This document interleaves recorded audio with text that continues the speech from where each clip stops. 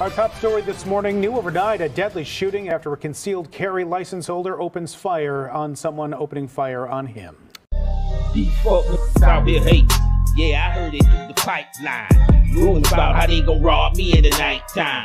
For real, they just waiting for the right time. But guess what? You never catch me without mine. Without mine. You never catch me without mine. Without mine. You never catch me without mine. Without mine. You never catch me without mine. Without mine. You never catch me without mine. Yo, what's good, man? It's your boy Smoke Tales. Welcome back to the channel. I hope you got it on you, cause I got it on me. You know how we getting down on this end. Police say potential suspect fired at group with shotgun, later shot in the face on Atlantic Boulevard.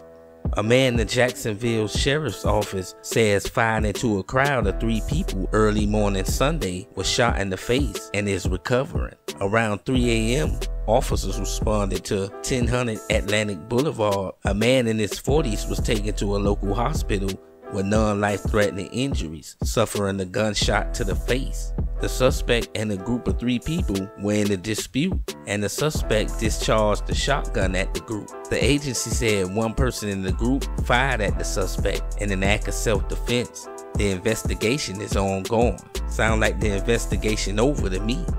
The Jacksonville Sheriff's Office is investigating a shooting on Atlantic Boulevard near 295. We're told the shooting happened overnight. Atia Collins is on your side live at the scene. Good morning, Atia.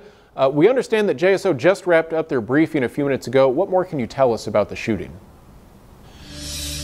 Good morning, Rich. That's right. We just spoke with detectives who told us that they arrived here to this shopping plaza off Atlantic Boulevard around 3 a.m. this morning. They say when they arrived, they found a man that had been shot in the face. Now, that man was transported to the hospital. His injuries considered non-life threatening. But at this time, this is what police believe led up to the shooting. They say that this man was in an argument with a group of individuals, that the man actually shot at the group of individuals. The group of individuals returned fire, striking the man, and that is how the man got injured. And now you can see right behind me, there was a car that was damaged during this shooting. You can see it there.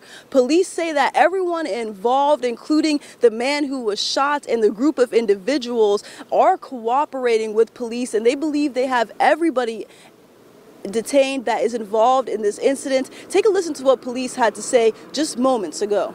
Uh, they were in a parking lot. It seems that there was a, uh, a, restaurant that was open that they were all leaving from. Unknown if the suspect was at that restaurant too. The actual incident occurred in the parking lot, so we're still trying to determine all those facts.